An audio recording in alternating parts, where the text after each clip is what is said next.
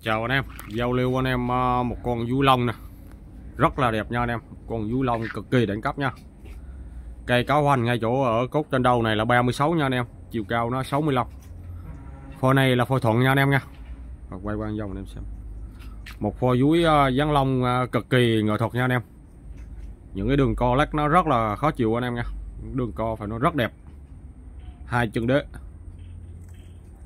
một phôi dưới ờ, đường thân co lách dáng long rất đẹp nha anh em. Khá là hay luôn anh em nha.